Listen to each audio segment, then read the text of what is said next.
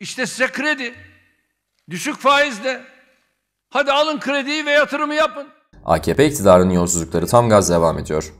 İktidar artan hayat pahalılığı karşısında 3 kuruşun dövize çeviren vatandaşı ahlaksızlıkla itham ederken Kültür ve Turizm Bakanlığı'na bağlı Turizm Tanıtım ve Geliştirme Ajansı'nın vergiden aldığı payı dövize çevirdiği ortaya çıktı.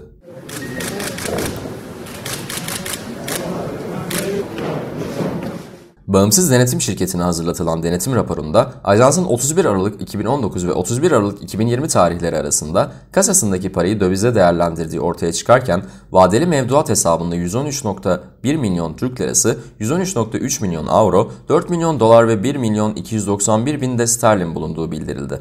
Ee, geçen sene 51.7 milyon olan ziyaretçi sayısını bu sene 58 milyon hatta 60 milyon lira getirmeyi hedefliyorduk. İkinci sırada ise Sağlık Bakanlığı bürokratlarının Türkiye'den müteahhitlere hazine garantili şehir hastanelerinin finansmanına ilişkin Londra'da görüşme yapmasının İngiliz devletinin resmi sitesinde yer alması var.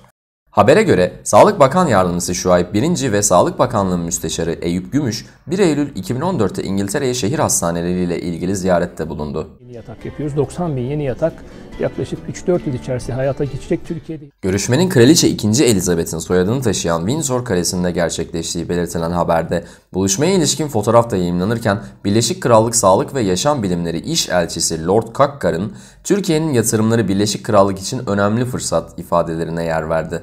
To include patients with newly diagnosed atrial fibrillation Üçüncü sıradaki yolsuzluk haberine göre ise CHP Antalya Milletvekili Aydın Özer'in meclisteki bütçe görüşmeleri sırasında Tarım ve Orman Bakanı Bekir Pakdemirli'ye sunduğu rüşvet dosyasındaki suç duyurusuna göre Recep Ablak isimli yurttaş işe alınması vaadine karşılık Sakarya Orman Genel Müdürlüğü'nde sayman olarak görev yapan kişiye 100 bin liranın üzerinde rüşvet verdiğini iddia etti ve buna rağmen işe giremedi.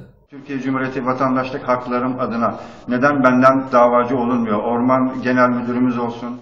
Ablak iddialarını içeren dosyanın CHP Antalya Milletvekili Aydın Özer tarafından TBMM Genel Kurulu'nda Tarım ve Orman Bakanı Bekir Pakdemirli'ye iletmesinin ardından bu kişiler bakanlıktan yeterli maaş almıyor mu da benden haraç aldılar ifadelerini kullandı. Ablak'tan davacıyız diye E-Devlet'ten baktım. UYAP'tan da gözükmüyor. E-Devlet'ten de gözükmüyor. Hakkımda açılan bir dava yok.